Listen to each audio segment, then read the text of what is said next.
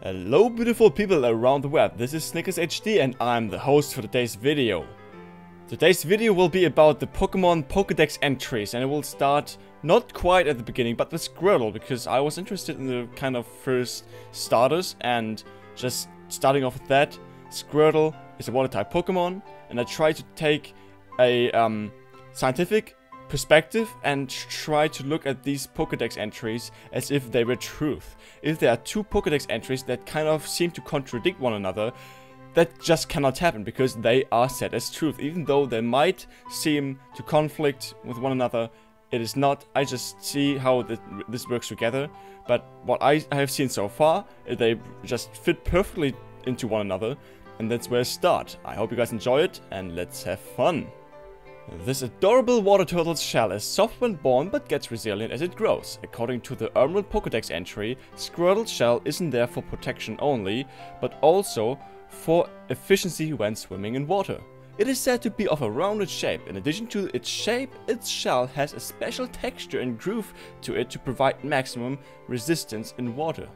Now let's have a look at this shard. We can see 5 different shapes and we can see the water pressure as the first number and the resistance in water as the second number.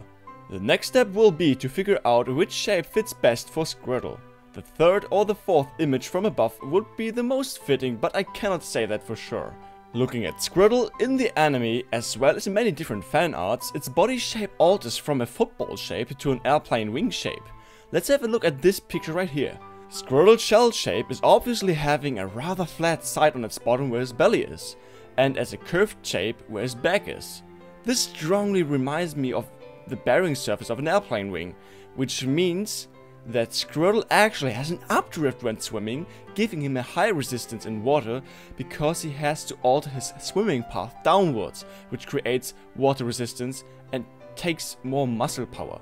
But there's more. It is said that its shell's groove and surface reduces water resistance. So we can not talk about the water pressure, but the water resistance only. If we look into our animal world of sea creatures, the first thing that comes into my mind are sharks with their rough skin. Shark skin is rough and as a matter of fact, the water resistance is reduced. Only problem here is that there is no statement that Squirtle's shell texture is rough. It is soft when it is just born and hardens as it grows. The thing now is that its shell has no skin, which could support the rough skin just like a shark's skin does. I also highly doubt that it would be probable that Squirtle would have such a rough skin texture to his shell because its arms and legs and its head would constantly scratch on the surface of his shell, hurting Squirtle constantly. In addition to that, it is said that it can withdraw quickly into his shell, making a rough skin as a texture to his shell more fatal, causing serious scratches and even burns if withdrawn quickly enough. To break down the facts, a Squirtle actually does have a shape that is reducing the resistance in water, but it might have trouble swimming a straight path due to its rather flat shape on its belly. This can be discussed more, but it's not that clear. A rough skin can be occluded due to the hazard of hurting itself when withdrawing into its shell, though it might be that the grooves of his shell actually do reduce resistance in water when swimming. Moving on to a completely new part that is where it gets crazy, Squirtle hunts. It is no vegetarian, let me quote here, shoots water at prey while in water. From Pokemon Y.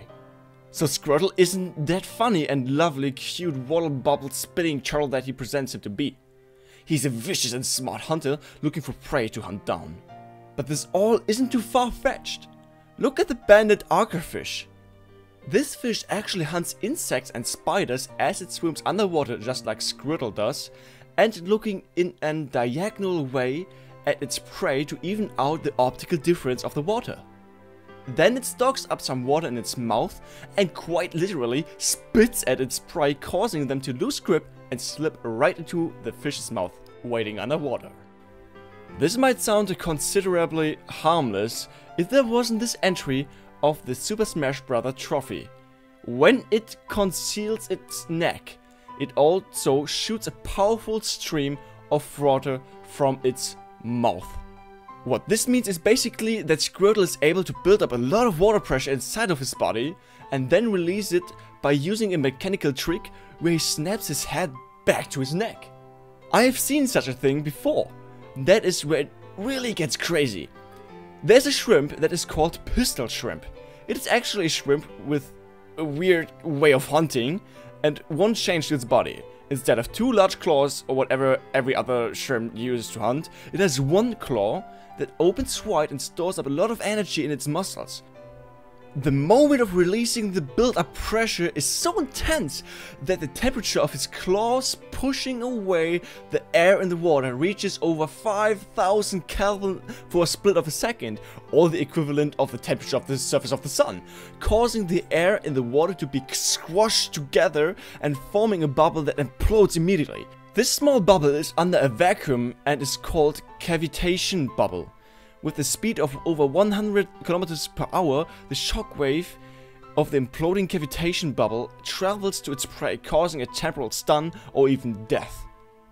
With such an explosive or implosive power, the pistol shrimp is even able to burst an aquarium. The noise of its implosion can even be picked up by a submarine water radar. Just one side note, you might ask, what does that have to do with Squirtle? Because Squirtle does not use water pressure, whatever. Uh, he, he does use water pressure, but he, he's not using the implosion, implosion shockwave. What I try to come across is basically that storing up pressure is possible in the animal world. And releasing this form of pressure, or this form of force, can be de devastating. Now going back to a lovely Squirtle, do you still think this animalistic hunter is so cute and adorable after all? It might as well easily cut your head off, but measures for the force and the pressure of its stream of water is not stated. But I want to leave you with this impression that it might as well be possible that this little creature has more in its armory than anticipated. So that is the first Pokedex entry I did, it's for Squirtle, it's number 7 in the Pokedex, in the National Pokedex, and let's see what my next step will be. I just try to figure out some interesting stuff. I hope you guys enjoyed it. If you did, why did you leave a comment, a like, and if you haven't already subscribed to my channel for more stuff like that and Battlefield 4, which is completely out of the order, but who cares, I love doing that. It was a lot of fun doing these researches. Thank you guys again for watching, and we see us next time. As always, people, keep it up.